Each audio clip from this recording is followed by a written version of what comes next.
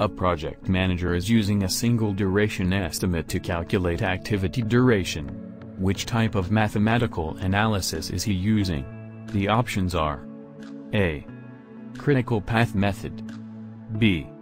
Project evaluation and review technique C. Monte Carlo D. Graphical evaluation and review technique